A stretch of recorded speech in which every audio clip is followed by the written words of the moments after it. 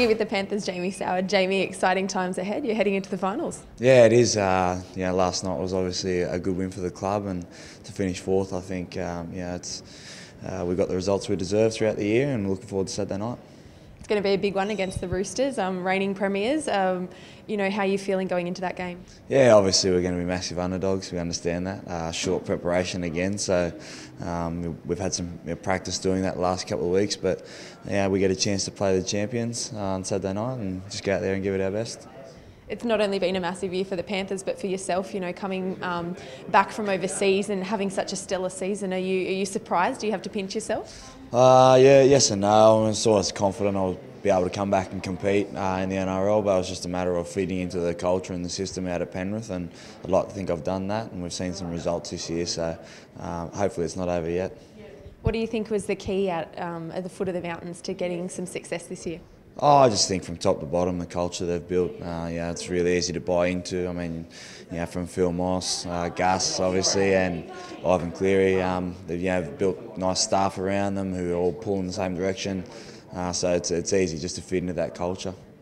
Tell us a bit more about Ivan Cleary because you know he had some success at the Warriors, getting the Warriors to a grand final. Um, what's been uh, pivotal about him and his role at the club that's seen um, you guys succeed on the field this year? Yeah, I think he understands his players, which is important. Uh, obviously, you know, I've had Wayne Bennett in the past, and that was sort of you know a similar relationship uh, that I found with Ivan. So.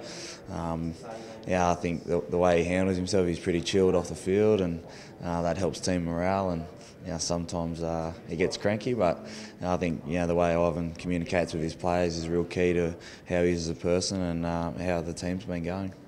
Seems like there's some great cohesion there between the players as well. I mean, tell us about the friendships or relationships or the um, the aura there at the Panthers.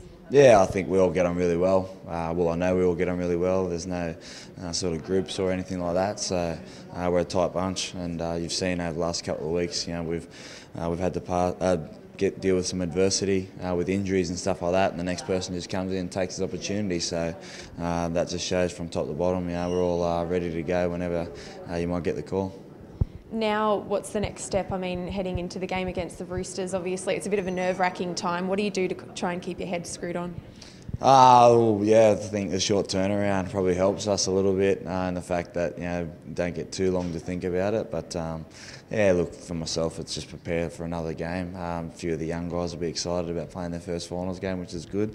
Uh, so yeah, pretty much just training as normal and um, try and bottle their excitement until Saturday.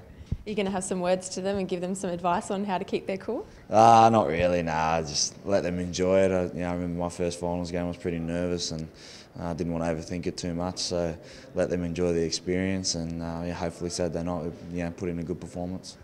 Um, you've been, you know, called a bit of a mentor out there at the Panthers now. Have you enjoyed taking on a bit of that mature role and, and helping to mentor some of the younger guys? Oh, I think it's because I'm one of the oldest, really. Um, uh, they, the young the young guys out there, they're all fantastic kids, and um, yeah, it's it's nice to be in that mentor role and you know be, be thought of like that. So uh, I've got a lot of respect for the young kids out there, and you know, they all listen and are willing to learn. So it makes the older older guys' jobs a lot easier. And um, big match this weekend, Allianz Stadium. It's going to be a double header. The fans it can't get much better. Nah, it doesn't get much bigger or better than that. So uh, looking forward to it.